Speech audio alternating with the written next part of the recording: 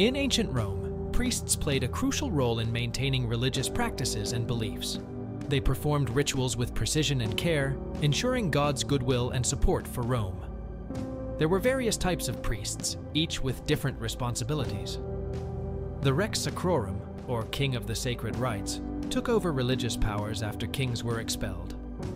The Pontifex Maximus, the highest ranking priest, was responsible for other pontifices. Augurs formed a separate priestly college to determine gods' feelings through omen divination